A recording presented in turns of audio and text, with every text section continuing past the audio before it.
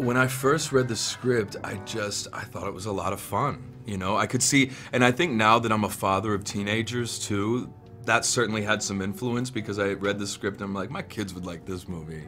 And there's not a lot that I've done uh, that they can watch or that they, and so, and it also reminded me of some of the scary movies in the 90s that I, like, I Know What You Did Last Summer, which I was in, and Scream and The Craft, where it's like, it's a scary movie, but it's not gory. It's not, it's not too much, you know? It's not, uh, it's not Saw.